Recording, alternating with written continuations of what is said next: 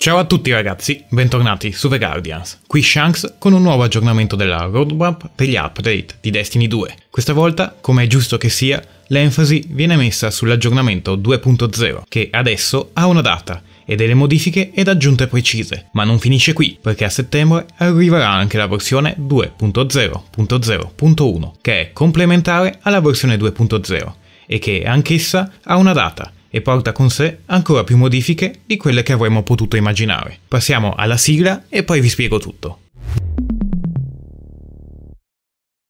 L'ultimo aggiornamento della roadmap che ci è stato fornito risaliva ad inizio luglio, precisamente il 5, e alcune cose inizialmente previste per il rilascio di settembre sono state anticipate. Vi ricordo che, essendo questi degli aggiornamenti, saranno disponibili per tutti, indipendentemente dal possesso o meno dei DLC e dell'espansione, il che vuol dire che anche senza possedere i rinnegati vi ritroverete con i cambiamenti di questi aggiornamenti. Tuttavia, per i contenuti previsti dall'espansione sarà necessario chiaramente possederla.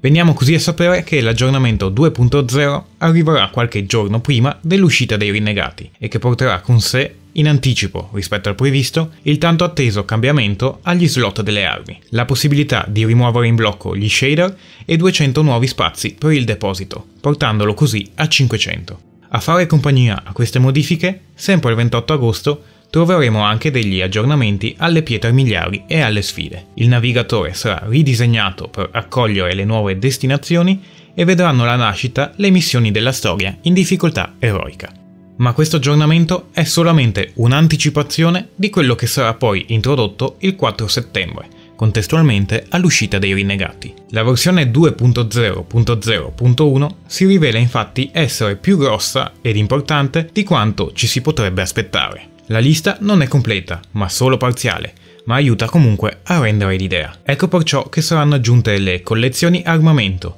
i trionfi in gioco, le caratteristiche casuali delle armi, un nuovo sistema delle modifiche, su cui spero parleranno presto, tre nuove mappe del crogiolo più una esclusiva PlayStation, nuove modalità sempre per il crogiolo, storie e leggende inserite direttamente nel gioco, nuove taglie e siete pronti? Il nostro livello di potere tornerà a contare nelle partite dello stendardo e delle prove. Boom! Accontentati nuovamente Man mano che ci avviciniamo a settembre saranno rilasciati sempre più dettagli su questi due aggiornamenti, così come sul periodo di manutenzione necessario al rilascio. Perciò rimanete sempre sintonizzati insieme a noi seguendoci qui sul nostro canale YouTube o sulle nostre pagine Facebook, Instagram e sul nostro Discord. I link li trovate in descrizione.